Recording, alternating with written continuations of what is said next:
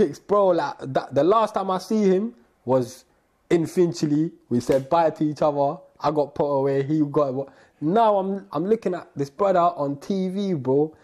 I can't lie, I had a little panic attack. Like, I was like, raw, like I just like I couldn't. Like I had to take it all in. Then I thought, well done. Mm. Like that was a, that in itself for me was an inspiration, bro. Like, like you can do it.